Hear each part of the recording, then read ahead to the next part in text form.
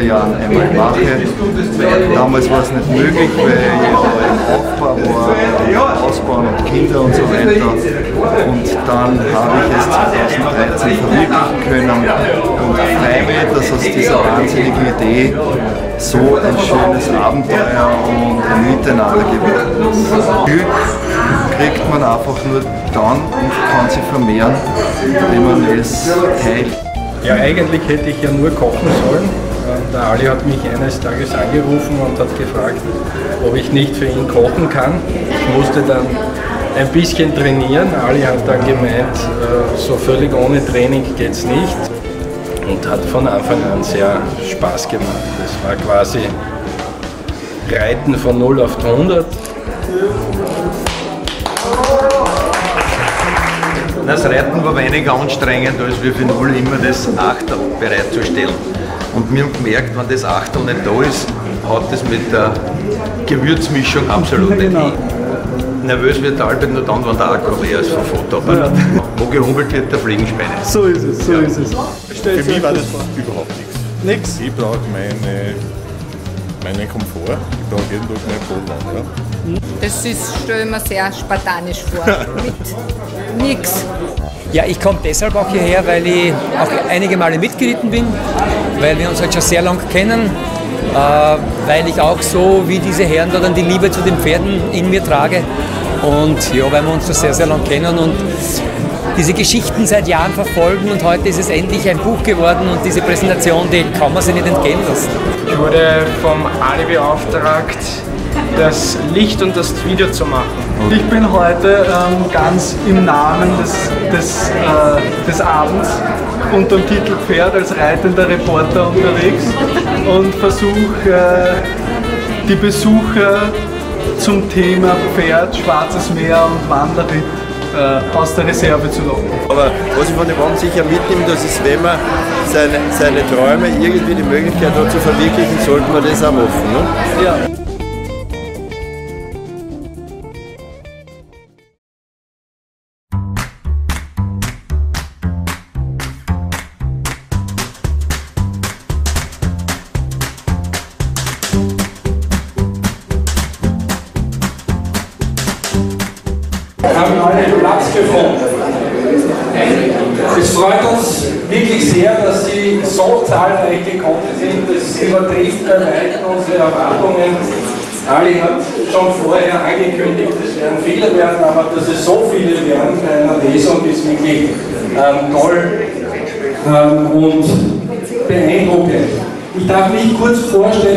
Name ist Uli Müller, war ursprünglich für dieses Abenteuer als Koch engagiert, jeder, der den Ali kennt, weiß, es kommt selten so, wie es ausgemacht ist. Es wird bisschen anders. Ähm, Ende des Tages musste ich die ganze, oder durfte ich die ganze Reise auf dem Rücken eines Pferdes auf der Wien mitmachen. Ähm, der Wiener Bürgermeister Michael Ludwig wollte nicht kommen, dafür der Katzelsdorfer Bürgermeister Michael Nestel.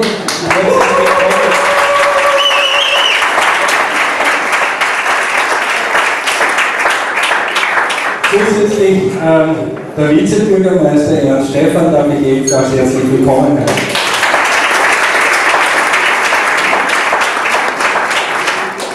Am heutigen Abend wird für uns lesen Angelika Hager alias Poliada. Ähm, guten Abend.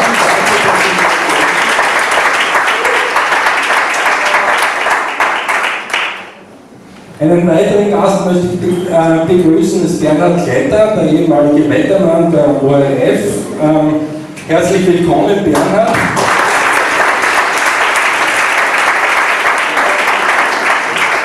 Besonderer Dank an Bernhard, weil wir haben vier Dokumentarfilme von diesem ähm, gedreht und Bernhard hat dankenswerterweise den Kommentar dazu gesprochen.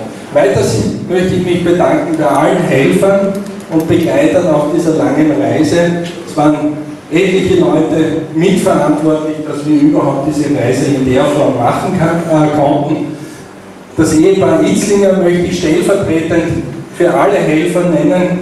Die ICs haben uns immer geholfen, wenn irgendwo Not am Mann war. Ich möchte Helga und Franz kurz exemplarisch für alle Helfer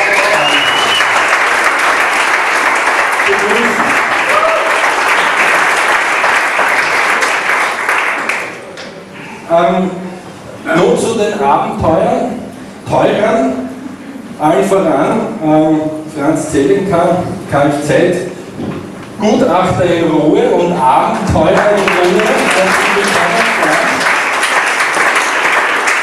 Der Ruhepol in unserer Gruppe äh, hat die Gruppe von hinten immer abgedeckt, wie der Ali so schön sagt. Ohne ihn wäre es genauso wenig gegangen wie ohne unseren Fotografen Albert Wolzer.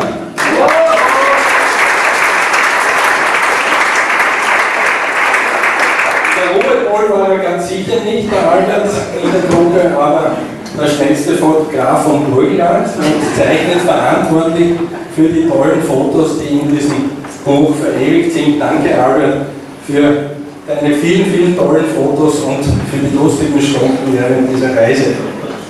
Ähm, als letztes Ali. Ähm, fast jeder im Raum kennt ihn zumindest namentlich oder von Erzählungen. Ein Netzwerker, wie man sieht. Ähm, viele kennen ihn auch von Kasselsdorf mit den Pferden unterwegs. Ähm, viele kennen auch Pferde, aber wenige im Raum kennen das Abenteuer Wanderreiten. Durch ihn bin ich mit diesem Abenteuer Wanderreiten in Berührung gekommen bin sehr dankbar, dass ich dieses Abenteuer mitmachen durfte. Ähm, und wir werden in diesem Abend, an diesem Abend ein bisschen mehr erfahren.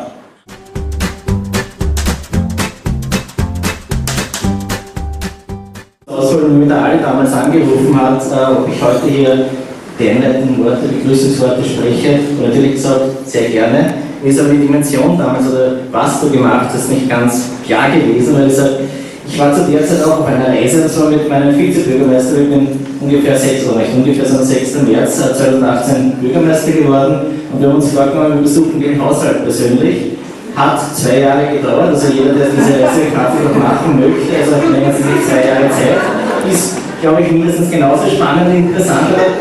Dann ist mir das erst, wie ich dann zur Ruhe gekommen bin, bewusst gewesen, äh, was da eigentlich Tolles oder was ihr Tolles geleistet habt, weil man kann natürlich mit, wenn man nach Kasselsdorf jetzt im Schwarzen Meer, ist okay, ist eine tolle Sache, aber dann kann man mit, mit der Bahn machen oder mit irgendeinem Flugzeug und so weiter, das ist das normale Fortbewegungsmittel, aber dass man das mit den Pferden macht, ist natürlich etwas ganz Besonderes. Und da darf ich herzlich einmal gratulieren zu dieser tollen Idee, zu dieser tollen Leistung. Ich darf euch aber auch herzlich Danke sagen. Erstens einmal, dass ihr es von Katzelsdorf weggemacht das freut mich natürlich ganz besonders. Und vor allem auch ein herzliches Dankeschön, dass das für die Nachwelt quasi auch aufbereitet worden ist, festgehalten worden ist in, äh, im Film, aber auch in der Illustration, also im Buch. Und nicht nur für heute, sondern wirklich auch für die Nachkommen. Weil ich glaube, das ist etwas ganz, ganz Besonderes. Und das ich ein herzliches Dankeschön an alle, die das heute ermöglicht haben, diese Veranstaltung. Und was alles passiert, es war und so weiter, also was passiert ist, ähm, wie es den Pferden geht, wann ihr wieder sitzen habt können normal, das erfahrt ihr natürlich jetzt oder erfahrt Sie heute jetzt im Anschluss. Und ich wünsche Ihnen einen wunderschönen Abend hier im Schloss Kassel.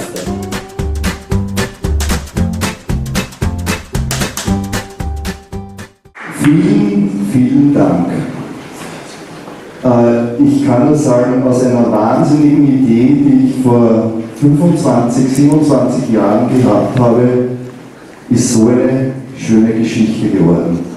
Es ist wirklich traumhaft zu sehen, wie viele Leute ich äh, wirklich mit denen auch anstecken konnte. Und äh, ich freue mich wirklich über jeden, der heute da ist. Dankeschön und sucht sich das jetzt von der Angelika an, weil das ist wirklich klasse, dass ihr das auch für mich macht.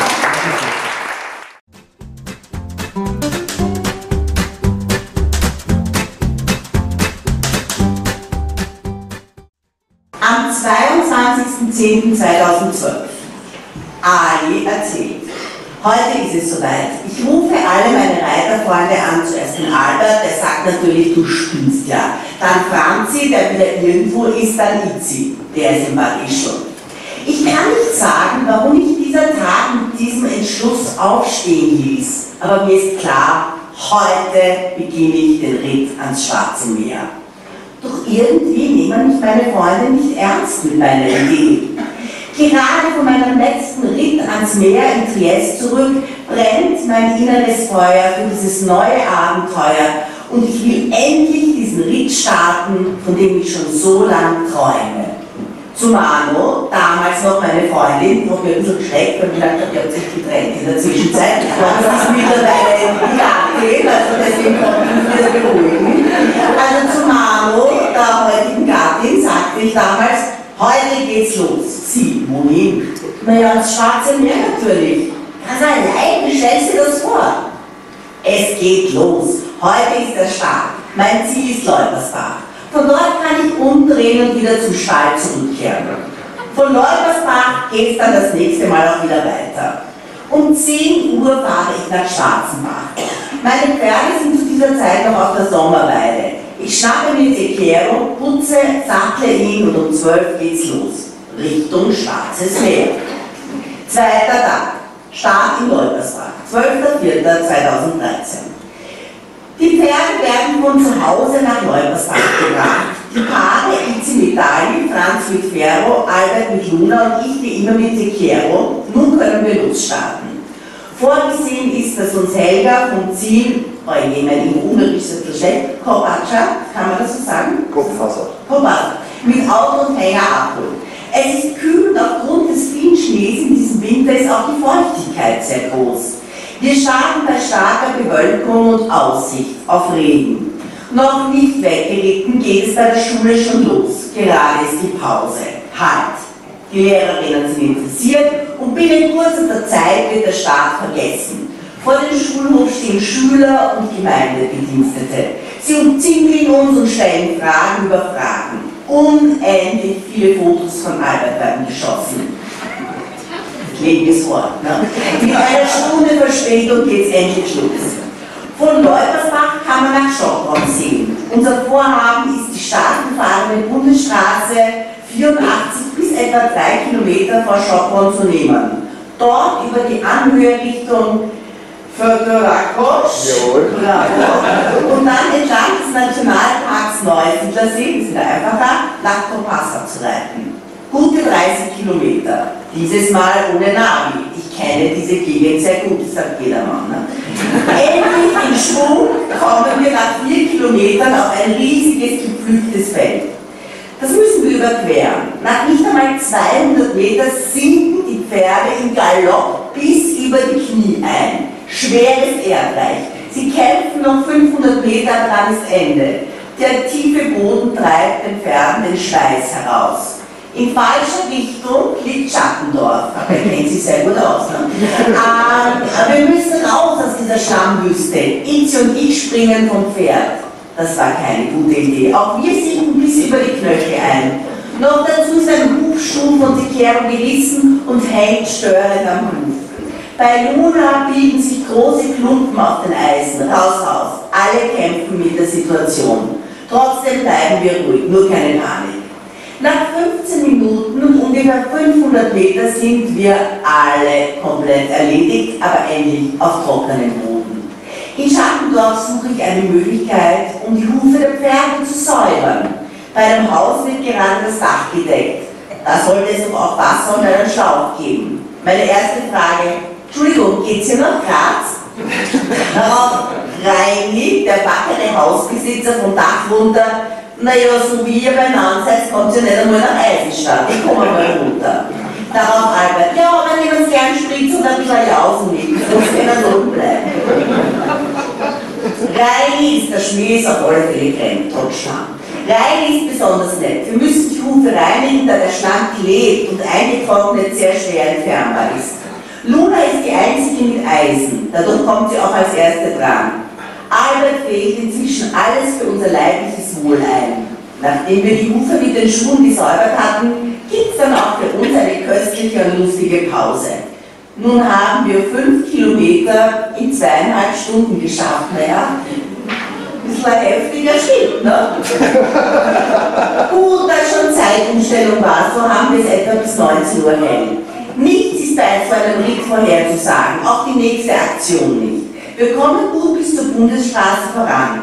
Im hohen Gras geht es im langsamen Galopp dahin. Kurz vor dem Überqueren der Straße springen zwischen mir und Itzi ein Reh auf. Dali versetzt es um gut zwei Meter und er knickt auf der linken Seite tief ein.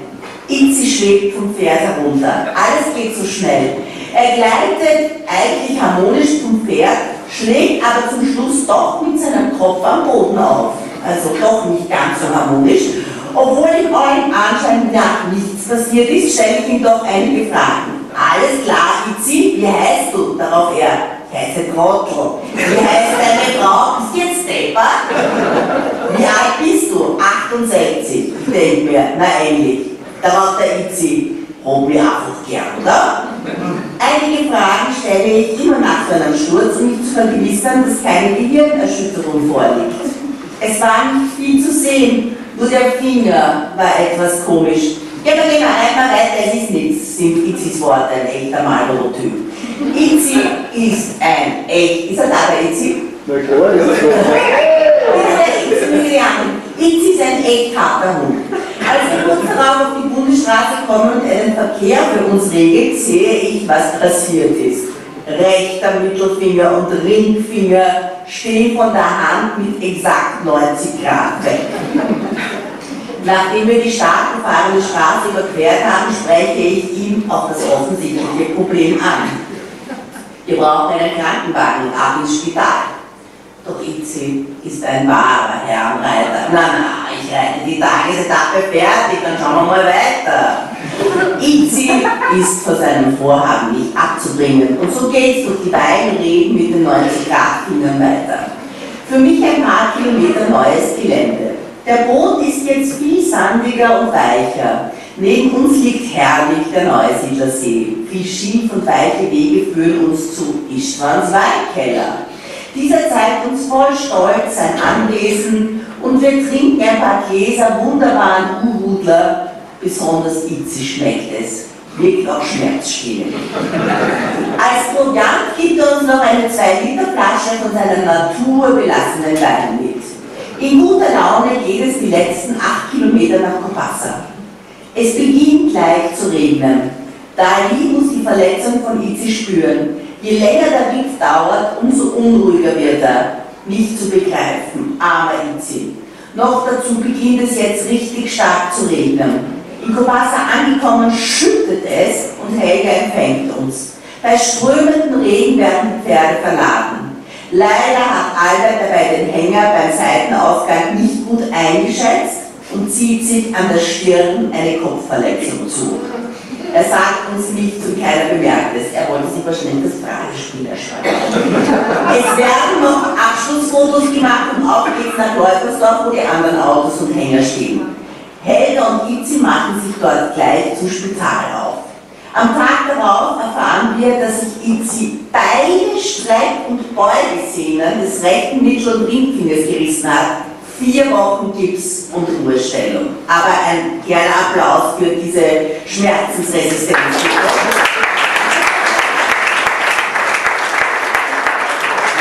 Albert, das nächste Opfer dieses Wahnsinnskriegs, geht am nächsten Vormittag ins Spital.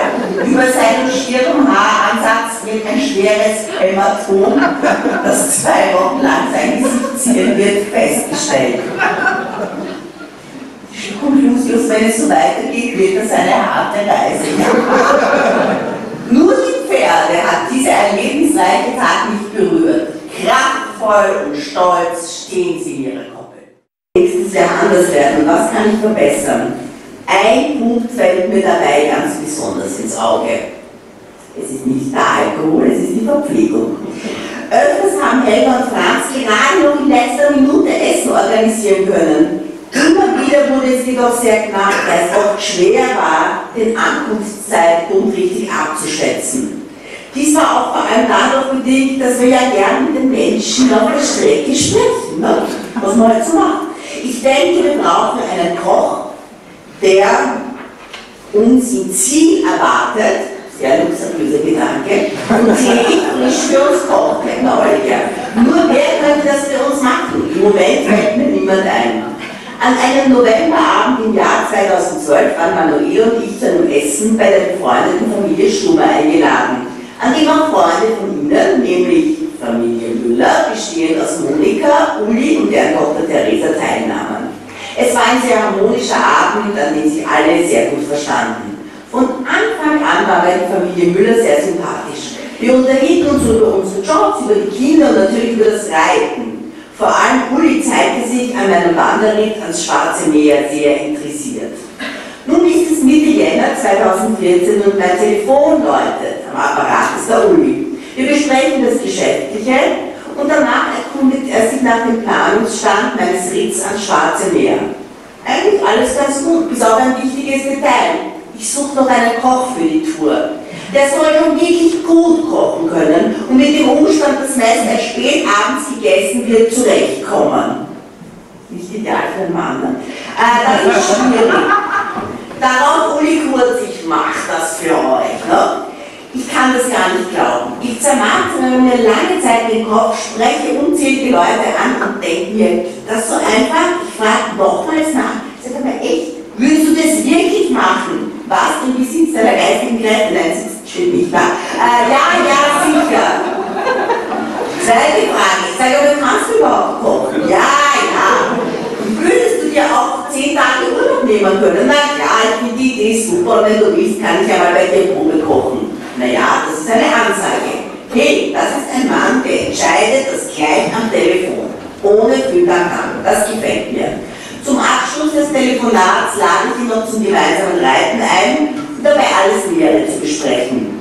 Im Innersten denke ich mir aber, na warten wir mal ab, wie sich das entwickelt. Jetzt kommt Uli zu Wort. Das Kapitel heißt, willst du dich einmal draufsetzen? Wer ist dieser Ali Koller und wie bin ich auf ihn gestoßen? Ali Koller ist einer der letzten Glasbläser Österreichs. Er ist der Sohn eines gebürtigen Ungarn, der kurz vor der Grenzschließung in den 1950er Jahren nach Österreich geflohen war. Seine ungarischen Wurzeln sieht man ihm an. Das hat er selber geschrieben. Dunkel, Haare, schlank, groß, durchtrainiert. Und auch wenn er frisch rasiert ist, er aber bereits einer der Charters für südartigen dunklen Schnurrbart.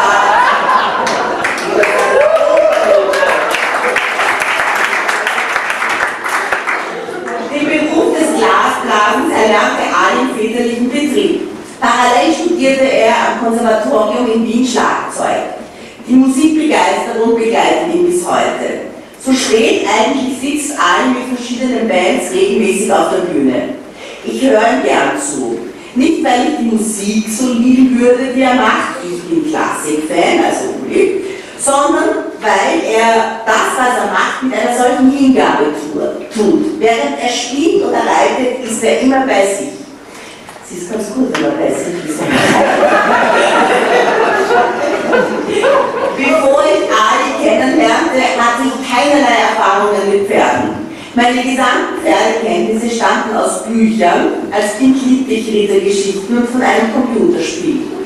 Meine Schwester las als pubertierende serienweise die Mädchenromane von Pille und Zottel.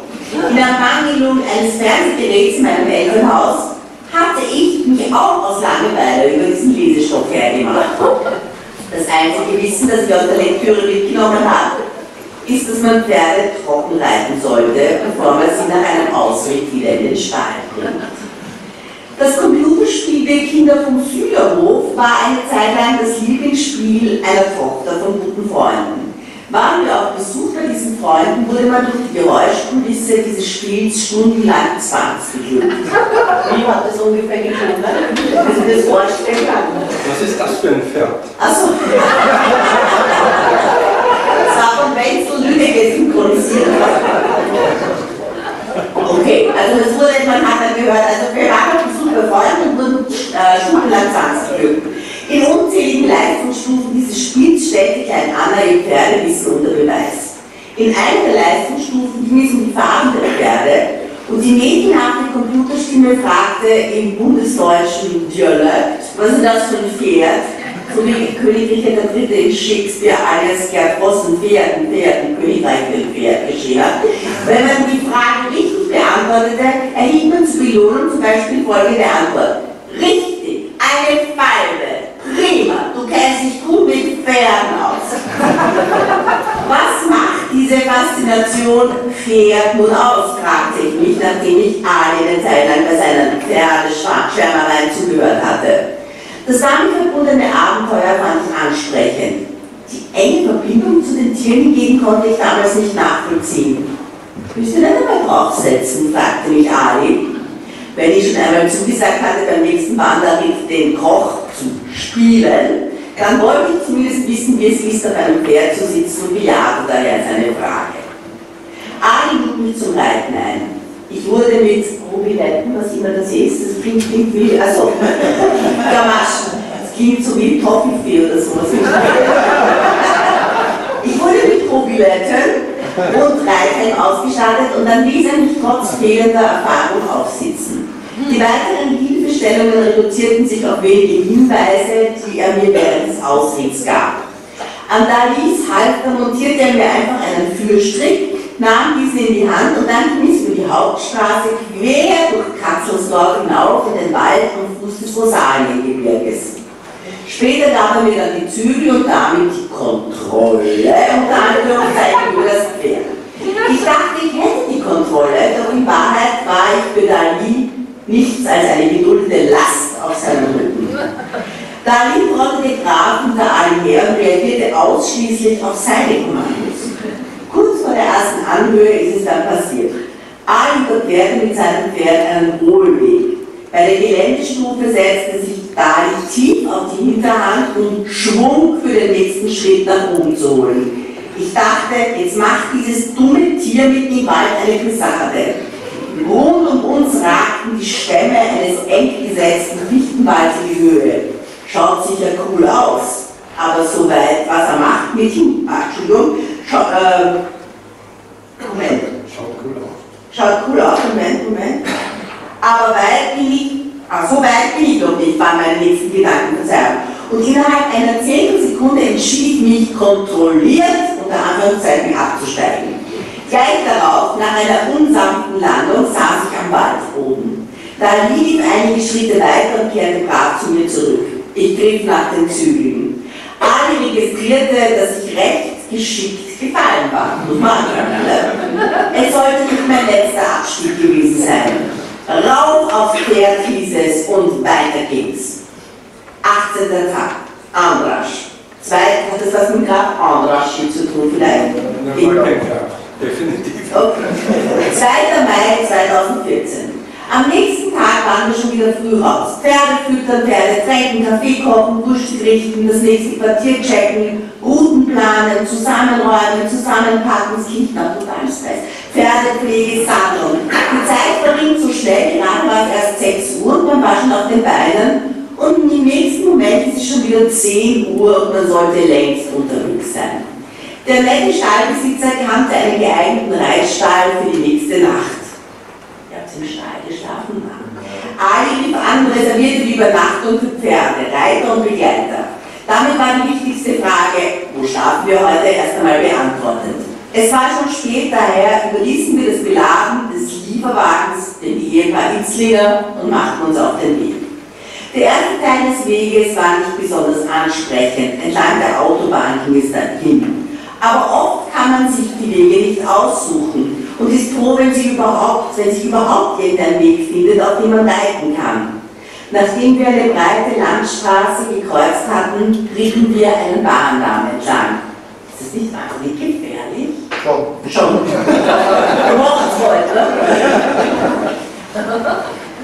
Ali hörte den herannahenden Zug und riet mir abzusteigen. Ich sprang auf den Sattel, da ich Dalis Reaktion auf den Vorbeigang und Zug erahnte und mir einen gefährlichen Abstieg ersparen wollte. Die Pferde schwitzen und das Halfter und das Zaumzeug juckt. Daher beginnen die Tiere, sobald sie die Möglichkeit dazu haben, ihre Köpfe an den Reitern oder den anderen Pferden zu reiben. Sofort hatte Dali den Kopf an die Keroskope und öffnete dabei den kleinen Karabiner, mit dem der Zügel an der Trense befestigt war. Ich zog an den Zügel und dachte im ersten Moment, jetzt hat er sich vollständig befreit und stürzte mich zwischen die Tiere, um den Karabiner wieder einzuhängen. In diesem Moment fuhr der Zug mit Getöse vorbei. Wie es genau zuging, ich weiß es nicht mehr genau. Auf jeden Fall hatte ich Angst. Der Gaul springt jeden Moment auf die Gleise. Dass er das eher nicht machen würde, wusste ich damals noch nicht. Der er ist nicht, ne, er ist nicht äh, unbedingt wahnsinnig äh, Sicherheit. Eine brenzlige Situation war es dennoch. Bald kamen wir wieder hinauf auf die Felder. Die sagten, mein Mann, das kann alles nicht machen. Die Gegend hatte sich etwas verändert. Kleine Dörfer lagen über die Landschaft verstreut. Die Landschaft war hier deutlich klein strukturierter, keine hektargroßen Flächen, sondern viele schmale Streifen, die unterschiedlich bebaut waren. Das hielt uns aber nicht davon ab, auch hier entlang der Traktorspur durch den kniehohen Weizen zu reiten. Nach einer engen, die Bauern werden geliebt haben, nach einer engen Unterführung über uns brausten die LKWs hinweg, sehr typisch alles, waren wir plötzlich eingesperrt links ein unüberwindbarer Graben, rechts ein völlig verwachsenes Bachbett. Ali musste absteigen, um die Kero zum Überqueren zu bewegen. Das Wasser war trüb, da stiegen Pferde nur mit großem Widerstand hinein. Glücklich auf der anderen Seite angelangt, musste er erst einmal seine Schuhe trocken bekommen. Erneut standen wir mitten auf einem Feld.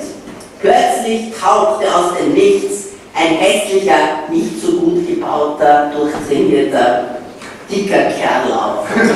Was gesprochen wurde, weiß ich nicht, ich spreche kein Ungarisch. In der Zwischenzeit steckten alles notdürftig getrocknete Socken wieder in seinen Reitschuhen und wir konnten weiter. Nachdem wir aufgesessen waren, griff der Kerl zu seinem Handy und telefonierte. Wahrscheinlich mal in der Weizen gehört, ne? Nehme ich mal Das Wetter sah nicht gut aus. Es war schwül türmten sich die Gewitterwolken. Wir ritten daher weiter im Feld den Bach entlang. Keine zehn Minuten später wurden wir von einem Bauern namens Andrasch gestellt. Andrasch war sehr aufgebracht und beschimpfte uns auf das Übelste. Mit seinem Kart war er uns entgegengekommen. Kurz vor seiner Hofeinfahrt hatte er uns erwischt. Dem Geräuschpegel und der zornigen Miene entsprechend waren da sicher keine freundlichen Worte dabei. Das war auch ohne Kenntnis der ungarischen Sprache leicht zu erraten. Ali übersetzte die Schimpftirade teilweise, stellte sich aber erst ahnungslos und tat so, als würde er den wütenden Ungarn verstehen. Wie es zuging, ich kann das nicht beschreiben, aber nachdem Ali auf eine Frage in Ungarisch antwortete, schlug die Stimmung innerhalb weniger Sekunden komplett um. Auf einmal waren wir nicht mehr muss es jetzt leider sagen, verfickte steht hier. verfickte, blöde, piep, piep, piep, Hurensöhne. Und es war keine Rede mehr von Flurschäden und Besitzstörung, sondern es ging um die Pferde und um die geplante Reise ans Schwarze Meer und die ungarische Säle wahrscheinlich. Alle übersetzten die letzten Worte von Andrasch. Ihr seid solche Idioten, ihr bekommt jetzt von mir was zu trinken. Ungarische Gastfreundschaft. Wir konnten endlich absitzen und wurden großzügig mit Schnaps, Limonade und Kaffee bewirtet. Seine Frau mit den Kindern wurde gerufen und schon waren man allerbeste Freunde. Erst jetzt hatte ich Zeit, mich wieder umzusehen. Die Unordnung rund um das Wohnhaus war atemberaubend. Ein Gewirr aus kaputten Erntegerät vermischt mit Alteisen und Reifen ein desolater Wohnwagen, die alles vollgestopft mit alten, desolaten Dingen, ein nicht mehr fahrtüchtiger Kleinbus, verrostetes Gerät überall in der Wiese verstreut. Vor dem Rohbau lag der Stall. Die Mauern bestanden aus einem bunten Gemisch aus unterschiedlichen Ziegeln. Natürlich durften auch Andrasch Kinder aufsitzen. Nach der Stärkung zeigte uns der stämmige Bauer, jetzt ist er plötzlich nicht mehr dick, sondern stämmig, der stämmige Bauer voller Stolz seinen Hof. Die Stallungen waren eine perfekte Fortsetzung des Chaos vor dem Haus. Über zwei Stunden machten wir bei der Familie Rast. Man verabschiedete sich und wünschte sich wechselweise ein schönes Leben. Wären wir ohne Ali unterwegs gewesen, die Aktion wäre sicher nicht so glimpflich über die Runden gegangen. Aber mit ihm schien es, dass solche Situationen ohne Probleme zu bewältigen waren. Der Weg bis zum Quartier an diesem Tag ein möbles Vier-Sterne-Hotel in der Nähe von Bergec Venue Halast. Falsch, wie heißt Ja, das Geht schon? Auch Untertitel. War noch weiter. Das Wetter verschlechterte sich. Einige Stunden ritten wir quer mit einem Regen, bis kurz vor der Ankunft der Himmel wieder aufklarte. 36 Kilometer waren geschafft. Direkt ans Hotel angeschlossen befand sich der Reitstall. Trotz bester Essensversorgung im Hotel bestand allen darauf, die Spaßbremse, dass der arme Uli das Essen zubereitete. Wenn man nicht so, ne? äh, Mit viel Scham erhielt er von der Hotelleitung nicht die Genehmigung, vor dem Hinterausgang der Küche zu kochen. Dort, auf einem überdachten Platz, baute ich meine Feldküche auf und konnte das Abendessen ungestört vorbereiten. Paprika, Huhn Spätzle und Salat, na bitte. Zum Nachtisch gab's, ich glaube, Palatschinken. Bei einigen Flaschen Wein wurde der Tag resümiert. Franzi war uns vom Hotel aus etwas entgegengegangen und hatte gesehen, dass wir einfach quer über die Felder geritten kamen. Er erkundigte sich daher, ob sich tagsüber niemand über diese Praxis des Reitens aufgeregt hatte. Alberts Antwort im Originalton lautete wie folgt. Na, bis jetzt keiner. Naja, der andere, der holt uns ein bisschen, sind wir ein bisschen auf sein Feld hinten, aber. Und dann haben wir halt nur Deutsch geredet, etwa, und dann ist schon losgegangen. Wie Sie sehen, ich brauche üblicherweise etwas länger als Albert, um den gleichen Sachverhalt darzustellen. Äh, der Uli schildert den 19. Tag jetzt. Äh, Atlas Farm heißt die Überschrift am 3. Mai 2014.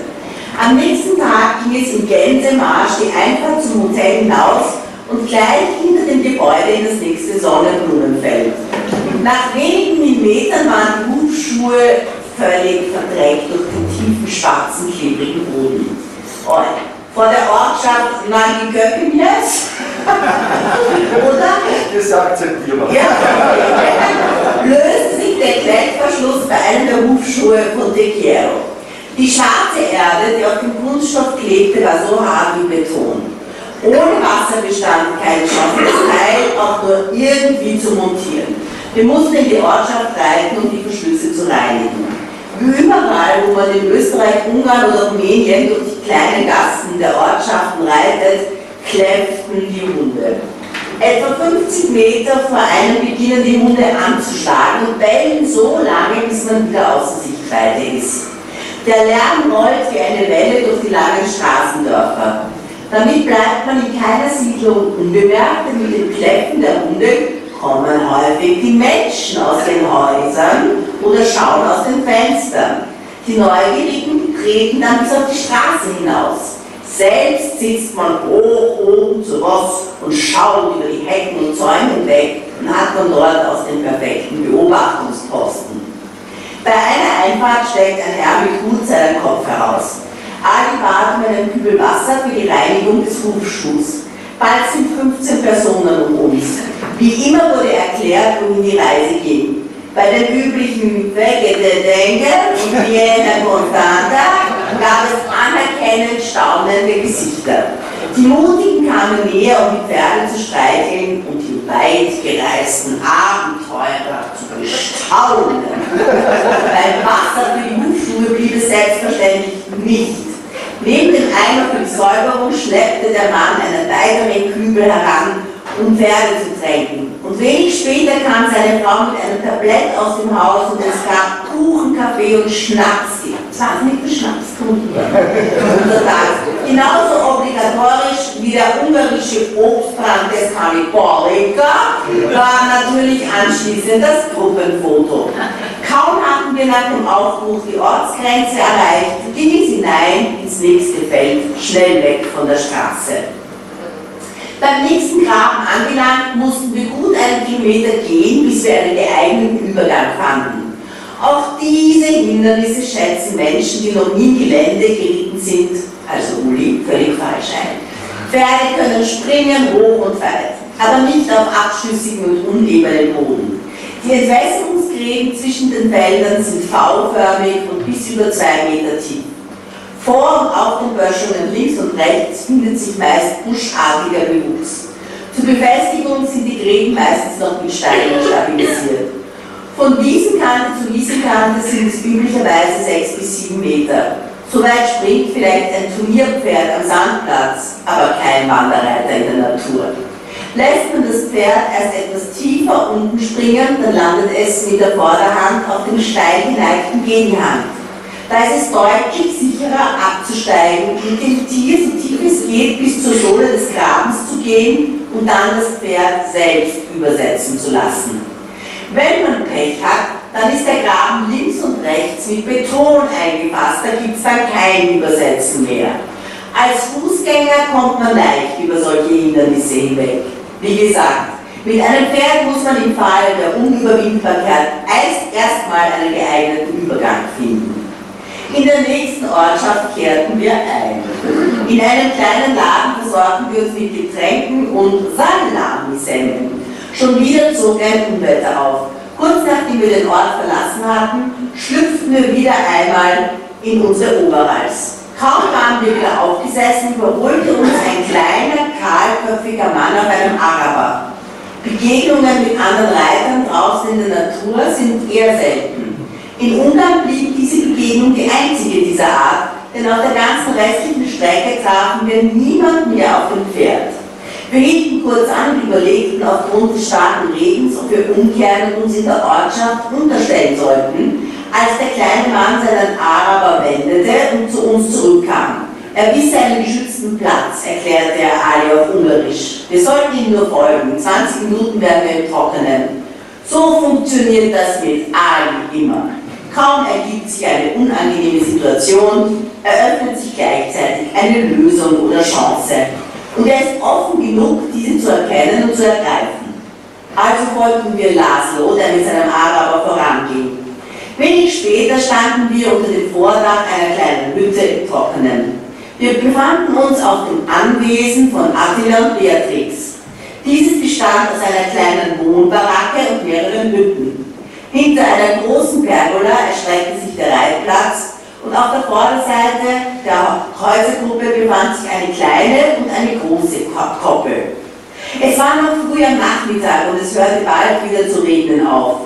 Eigentlich hätten wir noch locker das vorhergesehene Tagesziel erreichen können. Doch Ali gefiel der Platz und er entschied zu bleiben.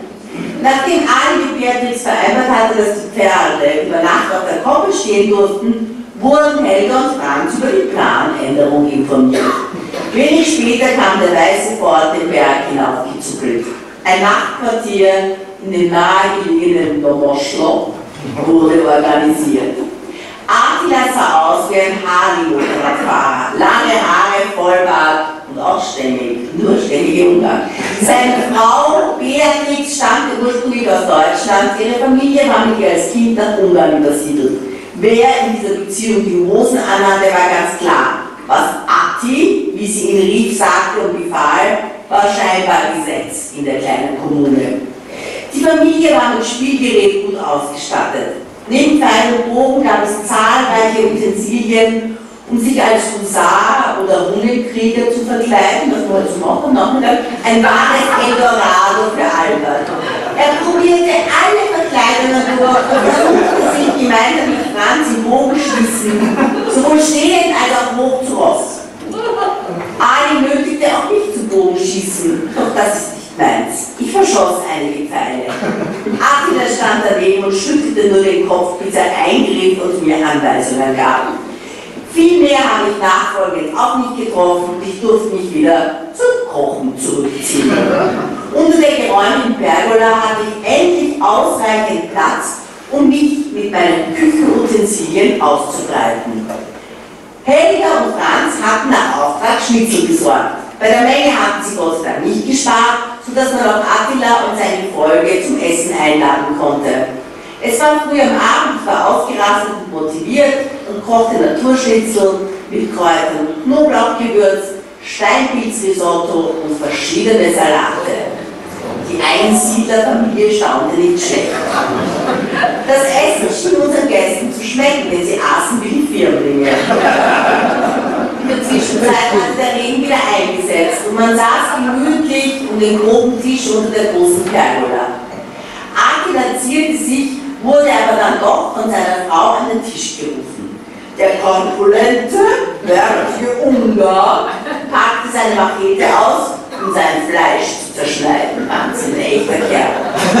Alles zerkleinerte er mit dem riesigen Dolch und schob sich die Speisen mit der flachen Klinge in den Mund. Ein Marlboro-Mann. Nachdem die ersten Stücke hinter die Reihe seiner Zähne gewandert waren, begann er sich zu entspannen. Nun stand die Frage an, was er als Nachspeise kochen sollte. Die Gäste oder Gastgeber, wie man es betrachten möchte, wurden nach ihren Wünschen gefragt. Die Tochter verwendete ein ungarisches Wort, das nicht einmal Aal kannte. Mehrfach setzte sie an, bevor sie aufsprang und zu einem Hollerbusch ging und mit einer blühenden Dolde zurückkehrte. Ob ich daraus was kochen könne, wollte sie wissen. Was für eine Frage, natürlich. Es gab Hollerblüten im Backteig. Ich verkochte, glaube ich, ein ganzes Kilo Mehl, bis wirklich niemand mehr was essen konnte. In der Zwischenzeit hatte sich der dunkelhaarige, dichthaarige Albert neu anjustiert und trug nun einen Husarenumhang. Doch, das sehen wir dann. Sein Kopf schmückte eine dazu passende Mütze. In der Hand hielt er eine riesige Peitsche. Albert hatte keinerlei Skrupel, die Behausungen seiner Gastgeber bis in den kleinsten Winkel zu untersuchen. Er schießt seine Fotos und kommt dann mit irgendwelchen Gegenständen wieder heraus. In diesem Fall war es ihm eine Peitsche. Er stellte sich recht geschickt an und brachte auch einige leise Knallgeräusche zustande. Franz Gittlinger wollte auch zeigen, was er konnte. Aber er lief dabei Gefahr, sich mit dem Ende der Peitsche selbst zu verletzen. Nach Elgas Ermahnung ließ er weitere Versuche bleiben. Dann war Attila an der Reihe. Der konnte natürlich nicht nur mit der Peitsche knallen, sondern auch zielsicher Zweige von nebenstehenden Büschen schlagen. Hecken schneiden auf dem Samen. Helga Morgen. Rosia Montana. Ist das, das war eine Gebirge wahrscheinlich, oder? Ja. ja. Das Gewitter hat, da kann man das hinschreiben. Das Gewitter hat die Sicht klar gespült und es ist wahrlich ein traumhafter Ausblick. Die Pferde stehen bereits auf der Koppel und fressen grünes, fettes Gras. Albert hält alles filmisch und fotografisch fest. Er lernt unsere Nachbarin kennen und lässt sich gleich der dieser Luther, dieser Albert, eine kleine rumänische Fahne auf sein Skelett nähen. Kommt von der Maschek-Seite. Wir treffen auf einer Wand, der auf einem Wanderweg spaziert, bemerkenswerten Schuhen. Bei uns hat man früher Jesus-Patschen dazu gesagt. Sie bestehen nur aus einigen zusammengebundenen Lederriemen, gerade so, dass die Sohle bedeckt ist. Der Wanderer macht aber damit einen sehr zufriedenen Eindruck. Vielleicht ist er Jesus. Uli hat es mit mir bestimmt nicht immer leicht. Ne? Immer wieder fordere ich ihn auf, die Hufschuhe meines Pferdes zu reparieren. Immer gemacht damit. Ne? Vor dieser Etappe dachte ich, werde ich meine alten Hufschuhe werde ich damit auskommen. Es waren immerhin acht Stück, aber diese sind jetzt nicht mehr zu gebrauchen. Immer wieder erneuert mir Uli daran etwas und so komme ich dann auch bis zum Schluss damit durch. Nicht nur Koch, sondern auch ein Schuster. Ne? Bestimmt kostet ihm das einige Nerven nach allen anderen Anstrengungen und dem Kochen noch am Abend. Auch dafür bin ich ihm sehr dankbar. In der Zwischenzeit kann ich die Karte studieren. Gemeinsam mit Uli übertrage ich dann die Strecke auf mein Navigationsgerät. Unser heutiger Tag führt uns nach Meziat. Anfänglich verzögerte sich unsere Abreise, denn unser Professor hat die Zügel im Hänger vergessen. Er läuft zurück. Sein Puls ist sicherlich bei über 160 Schlägen in der Minute. Wieder tauchen wir in eine völlig vergessene Welt ein. Alles ist grün und wirkt urtümlich. Wir begegnen einer Frau, die im Fluss ihre Kleider wäscht. Sie wirkt fröhlich. Es stört sie überhaupt nicht, dass wir sie dabei filmen. So geht es immer weiter, bergauf und bergab. Immer wieder kommen wir durch kleine Ortschaften, so auch durch Lazori, wo vor Freude gleich einige Kinder zusammenlaufen. Sie begleiten uns und stellen uns in ihrer Sprache Fragen. Sie dürfen sich auf die Pferde setzen und sind dankbar. Hier steht die Zeit wirklich noch still. Es gibt keine Kanalisation, die Leute im Dorf haben keine Autos, die Straßen sind auch nur teilweise geschottert. Die Menschen kommen direkt auf uns zu. Sie sehen uns auch in die Augen. Man blickt in ehrliche Augen. Trotz ihres offensichtlich wenigen Besitzes wirken sie glücklich. Sie haben Zeit und interessieren sich auch für unsere Vorhaben. Mit Staunen verlassen wir diese Ortschaft wieder. Die Kinder begleiten uns nach dem Ortsende von Laturing auf Lange. Sie singen und rufen uns nach, wir antworten gerne, wie ihr Echo. Das viele Auf und Ab lässt unsere Pferde müde werden. Bevor wir im nächsten Dorf eintreffen, tränken wir sie an einem Fluss. Im Sodol erfrischen auch wir uns. Hier können wir ein immer wiederkehrendes Tagesritual beobachten. Es ist 17 Uhr der Bauer treibt die Kühe nach Hause, ein Hirte kommt mit seinen Schafen von der Weide zurück, die Frauen erheben sich von ihren Sitzbänken und begeben sich ins Haus, um ihren Männern das Abendessen zuzubereiten. Dort ist die Welt noch in Ordnung. Die Straße beginnt zu leben. Wir stehen mit den Pferden bis weit über den Knie im Fluss. So erfrischt das Wasser ihre Beine. Ich frage nach dem Weg nach Mezia, die Antwort ist immer die gleiche. Noch fünf Kilometer. Langsam bewegen wir uns weiter. Am Ende der Ortschaft geht es steil bergauf. Im Anstieg kommen uns wildlebende Pferde bergab galoppierend entgegen. Das gibt es dort, wildlebende Pferde. Ist das selten oder ist das normal dort? Okay. Das ist immer ein wenig kritisch, weil man nie weiß, wie sie reagieren. Meist genügt aber ein Ohrenanlegen unserer Pferde und sie hauen wieder ab. Sollte das nicht funktionieren, werden wir laut. Dann laufen sie auch weg. Weiter geht steil bergauf. Weit oben am Berg steht ein Hirte, der uns schon die längste Zeit beobachtet. Ich frage nach der Ortschaft Meziat, es folgt die Antwort wie immer 5 Kilometer. Über den nächsten Bergzug immer den Weg entlang. Es ist jetzt 20 Uhr. Und die Strecke sollte sich nach meinem Navi locker ausgehen. Aber wir kommen auf diesem Weg nicht weiter, denn es ist eine Sackgasse. Im ersten Moment möchte ich mich durchs Dickicht durchschlagen, aber der Wald wird immer dichter und das Gelände immer uneinsehbarer. Erschöpft drehen wir um und versuchen über eine Wiese ins Tal zu kommen, hoffen, dass wir auf der anderen Seite den Weg finden. Es dämmert bereits und ich werde diese Situation nie vergessen, als wir die Pferde in serpentierenden steilen Hang hinunterführen. Dali und Cleo laufen frei. Franzi und ich kämpfen uns bis zum Bach im Tal durch. Uli und Albert finden keinen Weg über diesen Berg.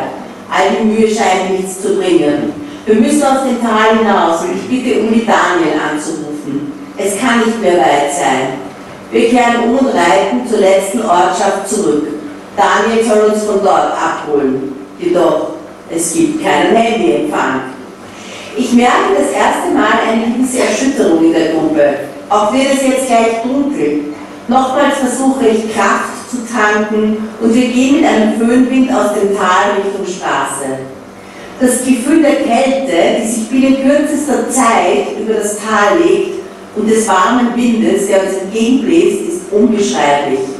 Uli erreicht Daniel endlich mit dem Handy und wir sehen endlich die Straße glitzern. Im Finstern kommen wir aus dem Tal heraus und freuen uns, nicht im Freien übernachten zu müssen. Mit so etwas rechne ich immer, aber bis jetzt ist es Gott sei Dank noch nie so weit gekommen. In Sohndeutsch zurück ist auch schon Daniel da. Uli und Franzi fahren mit ihrem Pferd zuerst ins Abendquartier. Albert und ich bleiben zurück. Wir erfahren dann von den Einheimischen, dass Metziat fast um die Ecke liegt, keine Stunde zu Fuß. Leider hatten wir diesbezüglich kein Glück, dafür aber viel erlebt. Wie wir ins Quartier kommen, scheinen alle gut aufgelegt zu sein. Daniel stellt uns seinen Jägerfreunden vor. Uli hat in der Küche wieder mal wahre Wunder vollbracht. Es dauert nicht lang, wir können uns schon zu Tisch setzen. Nach dem Essen zeigt Franzi seine Verletzung und wir staunen. Sein ganzer Oberschenkel ist tief violett. Ich denke mir nur, Worte Sau. Ja, und dann kommt noch Uli, der auf beiden Fußsohlen dicke Blasen hat. Eine größer als die andere. Auch ein Held. Wie das benutzen kann, ist wirklich verwunderlich. Alle Achtung. Film ab. So, oder? Jetzt wird wieder aus Kulisperspektive am 50. Tag, am 9. Mai 2016. Habt ihr so lange Urlaub gehabt oder sind alle freiberuflich? Um zu den Karpaten zu gelangen, mussten wir das Hagita-Gebiet überwinden. In der Tourismusregion befindet sich ein kleines Skigebiet.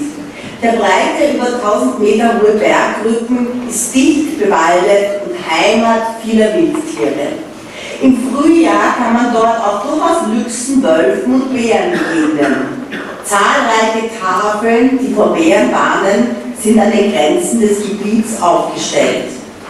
Daniel riet uns im Fall einer Begegnung mit einem Bären möglichst viel Lärm zu machen. Als Bärenabwehr führten wir kleine Glöckchen und Schellen mit. Die Glöckchen und Schellen waren nicht sehr groß, zwei Zentimeter. Wenn man sich ein kleines Stück von der Reitertruppe entfernte, so war ihr Leuten schon nach 20 Metern nicht mehr zu hören. Ich weiß nicht mehr, wer diese Glöckchen organisiert hat. Ich bekam jedenfalls eine einzelne kleine Schelle von allen als Bärenschutz. Waren wir leicht beleidigt, na stimmt nicht. Die kleine den Zip meines Regenschutzes. Ich bin nicht von dieser Art der Schutzmaßnahme. Vielleicht deshalb band ich meine Bärenschutzschelle nicht mit einem ordentlichen Knoten an meine Jacke. Das Unbewusste hat sich dagegen gestreut. Nach wenigen Kilometern habe ich sie jedenfalls verloren. Leute denke ich, die kleinen Glöckchen hätten den Bären bestenfalls beim Kauen gestört. Als Abschreckung gegen Raubtiere waren sie jedoch völlig unzureichend. Wir wollten einer engen Passstraße. Am höchsten Punkt angelangt machten wir Pause. Wieder mal, gibt es warmen Tee und Rachenschnaps? Mehr gab es in der Nebensaison eben nicht zu bestellen. Was soll man machen? Aber da verließen wir die Straße und folgten einem Forstweg. Der Wald war in einem katastrophalen Zustand.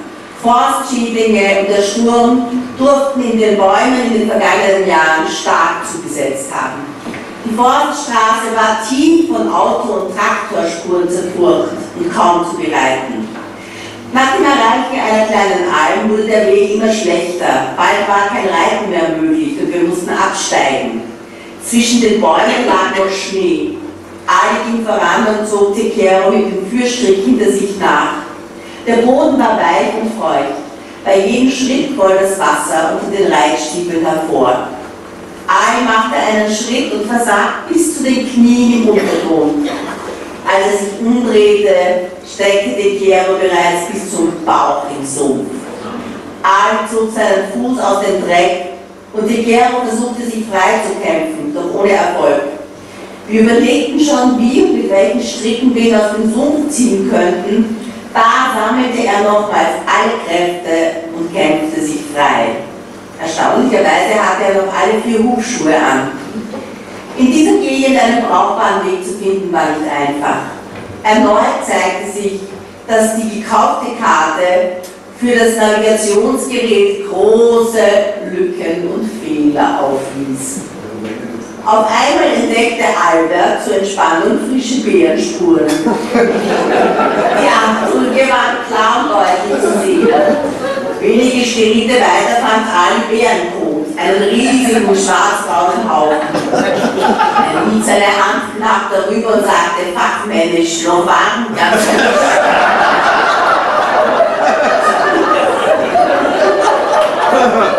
Viel Zeit war noch nicht vergangen, Zwischen den großen Spuren fanden sich noch zahlreiche kleine Bärenabdrücke, also noch gefährlicher als gedacht, eine Bären mit dem Jungen. Wir waren zu weit nach Norden abgekommen. Wir mussten daher nochmals über den Berghang nach oben und dafür den guten Weg, den wir bislang gefolgt waren, verlassen. Der Pfad war mehr eine Geröllhalde als ein Wanderweg. Riesige Steinböcke, Blöcke lagen auf dem Blöcke, lagen auf dem Boden. Dazwischen ging man auf feuchter, rutschiger Erdmasse. Eine Flucht vor den Bären auf diesem Untergrund wäre unmöglich gewesen. Ich glaube, auf einem flachen Grund wäre das sehr schwierig, weil sehr schnell sind. Noch dazu stieg der Wanderweg extrem steil an.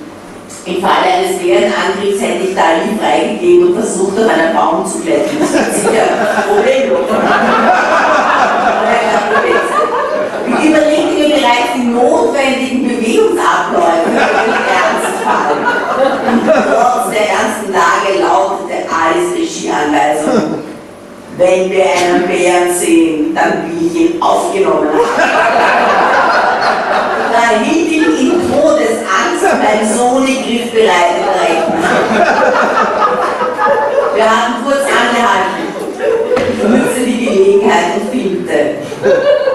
Hörten wir ein Brummen. An Alice Gesichtsausdruck ist eindeutig zu erkennen, dass ihm in dem Moment auch das Herz Wir schrien, machten einen Heidenlärm. Erst beim Abendessen gestanden Franz, die Kanaille, der erste gewesen war, der getrunken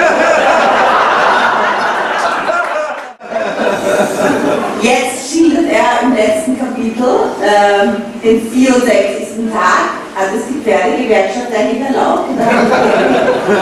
Das Schwarze Meer. Am 7.5.2017. Heute ist es soweit. Wir erreichen unser Ziel, das Schwarze Meer. Flavius hat einen noch unverbauten und Tourismus verschonten Strand in der Nähe des Dorfes Warnow ausfindig gemacht. Zehn Kilometer nur Sand und Meer. Genauso habe ich mir das vorgestellt.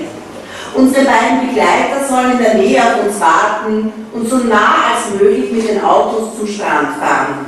Dann wollten wir vor Ort ein Picknick machen. Dafür sollten sie Sekt und Köstlichkeiten organisieren. Die Anspannung und die Vorfreude ist ein anzumerken. Nach jedem gerittenen Kilometer suchen wir das Meer. Aber es kommt nicht Sichtweite. Wir sind zwar in der Nähe, müssen aber noch einige Sanddünen überqueren und etliche Wasserlacken umrunden. Und dann kommt ein Trampelpfad. Der könnte zum Meer führen. Ich galoppiere die Kero an und ein Freudengesang halt in mir wieder. Wie können wir uns das vorstellen? Auf diesen letzten 400 Metern im Galopp erlebe ich eine kleine Zeitreise. Die vielen Abenteuer vom Beginn des Vorhabens und dann das Ziel vor Augen. Wie oft habe ich auf der Strecke gesagt, Vienna, Constantia, nun wird in Kürze dieser Traum wahr. Wie eine kleine Indianergruppe stürmen wir zum Strand. Überglücklich umarmen wir uns, wie beim Fußball wahrscheinlich. Wir haben es geschafft und diese weite Reise mit nur ein paar gebrochenen Mittelfingern und äh, Gehirnerschütterungen beendet. Wir blicken aufs Meer und können es gar nicht glauben. Zuerst reiten wir einen Schritt den Strand entlang. Bald finden wir einen kleinen Sandberg, um wieder mal Aufnahmen zu machen. Jeder stellt sich einzeln mit seinem Wegbegleiter auf die Anhöhe. Im Hintergrund das schwarze Meer im Vordergrund ein überglücklicher Reiter. Unsere zwei Begleiter werden einige Zeit später zu uns kommen. Sie müssen ja einige Kilometer zu Fuß gehen. In dieser Zeit drehen wir Filmaufnahmen und unsere Pferde haben dabei etliche Kilometer im Sand vor dem Meer zu galoppieren. Dann ist es soweit. Flavius und Dumitru stoßen mit einer Flasche Wein, diesmal verschnappt, im Gebäck zu uns. Wir vier können endlich auf unser Glück anstoßen. Österreich, Ungarn, Rumänien tönt es aus unseren Mündern, eine total monarchistische Angelegenheit. Unsere beiden Begleiter machen noch mehr Filmaufnahmen von uns, natürlich mit dem Schwarzen Meer im Hintergrund. Wir lassen uns Zeit, um diese starken Emotionen auch ordentlich zu genießen. Nun dürfen auch Flavius und Dumitru am Strand reiten, das ganz allein. Einzige Vorgabe dabei, Unsere vierbeinigen Freunde dürfen sie höchstens 200 Meter von uns wegbewegen. Angst gehabt, dass sie dann nicht danach Trotzdem freuen sie sich sehr. Sie sind ein Teil unserer Gruppe geworden und fühlen mit uns. Meine Absicht, mit Tichero ins Meer zu gehen, mit meinem Weg zu schwimmen, das Armentier bleibt nicht zerspart, ist durch den starken Wellengang leider nicht möglich. Als ich das erste Mal mit ihm bei Triest ans Meer geritten bin, konnte ich mit ihm schwimmen gehen. Dieses Glück wird mir dieses Mal nicht gestattet. Das Meer ist zu rau. Ich versuche es dann noch mit dem etwas mutigeren Dali, aber weiter als bis zur Brust reitet er auch nicht ins Meer. Zum Abschluss gehe ich mit meinem Freund Tikero noch ganz allein den Strand entlang, dankbar für die vielen Erlebnisse und das Glück, das uns von Anfang an begleitet hat. Es ist mir ein starkes Bedürfnis, ihm meine Herzverbundenheit und auch meine Dankbarkeit für die vielen Kilometer, die er mich auf seinem Rücken getragen hat, spüren zu lassen. In einem sanften Galopp kehre ich dann wieder zur Gruppe zurück.